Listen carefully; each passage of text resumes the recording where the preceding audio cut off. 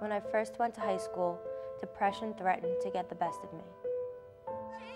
I've always been a very social and outgoing kind of person, and I suddenly and quickly became very quiet. I felt uglier than everyone, chubbier than everyone. I always just felt badly about myself. And I began starving myself.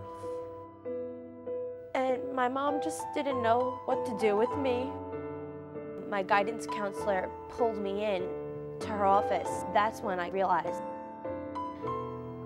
I kind of need help.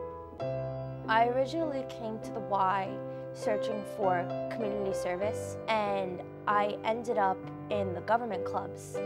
I really had no interest in government and the Y actually motivated me to become interested. The Y I feel like is different from any place else. They're my second family to me. The people at the Y have made me a stronger person. And they're there to listen, and they're there to give me advice and help me through things. The YMCA has transformed me into a better person.